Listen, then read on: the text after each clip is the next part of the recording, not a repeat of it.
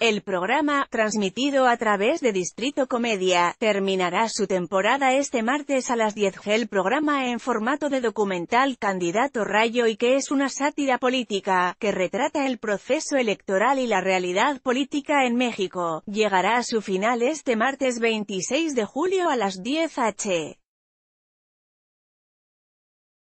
Ramón Ramírez Rayo es un profesor de educación física que trabaja para la CONADE, dependencia cuya burocracia lo confunde.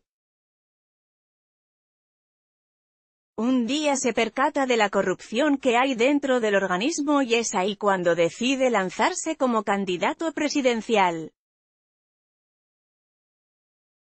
Transmitido a través de Distrito Comedia, también se puede encontrar a través de plataformas digitales donde se pueden encontrar todos los episodios ya transmitidos, al menos 27 mexicanos se unirán a la academia que otorga el premio Oscar cada año en